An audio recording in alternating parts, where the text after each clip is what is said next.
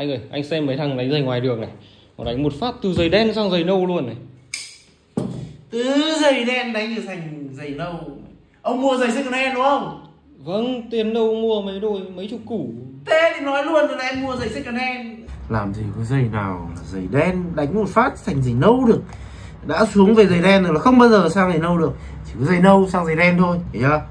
Tháo cái su suy này ra tôi sẽ cho ông biết là giày nào là giày đen và giày nào là giày nâu nhá. Nào, bây giờ tôi sẽ lột trần bộ mặt thật của giày đen và giày nâu cho ông xem nhá. Này, nhìn đây này. Đấy, bây giờ ông phải hỏi lại cái ông bán hàng cho ông ấy, xem là trước đây là con này là màu gì. Em trước ngày xưa em không nhớ anh à, bán cho em là giày gì, màu đen hay là màu nâu? Đấy, cái giày gì đây? Này giày gì? Đen hay nâu? Nào làm gì có thằng nào đánh được từ giày đen thành giày nâu. Bây giờ tôi sẽ tẩy hết đi. Đấy tôi sẽ chuyển lại cho ông về giày đen chính chủ. Ok chưa? Ờ nhỉ. Trước giờ mình toàn mua giày đen ông này bán màu đều rồi. Tẩy ra mà được màu à, dark brown này thì cũng được. Đỡ phải chuyển sang đen làm gì cứ thế mà đi. Cho nó sướng hả con này vẫn phải hai nước thậm chí là phải ba nước thì nó mới đều được. Ra ra ép xăm là nó sẽ không bám màu nhiều đâu.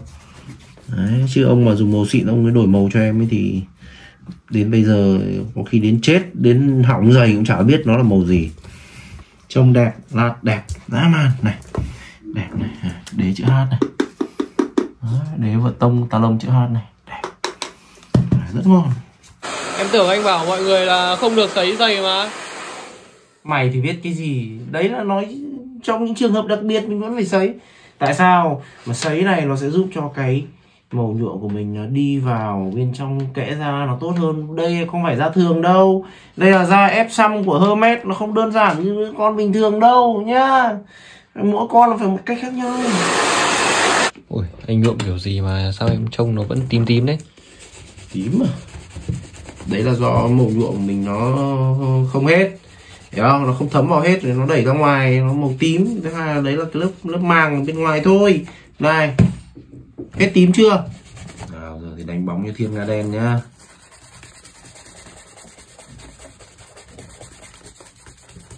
Trông tươm rồi đấy.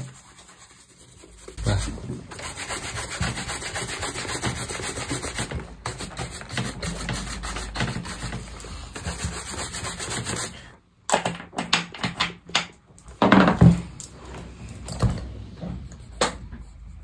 Làm là phải từ A đến Z chứ. Làm gì có chuyện vớ vẩn